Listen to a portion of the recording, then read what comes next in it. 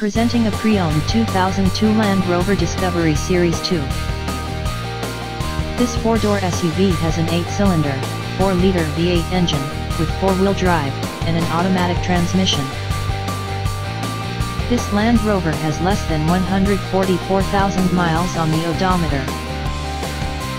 Estimated fuel economy for this vehicle is 13 miles per gallon in the city, and 17 miles per gallon on the highway. This vehicle is in excellent overall condition. This vehicle qualifies for the Carfax buyback guarantee. Ask to see the free Carfax vehicle history report.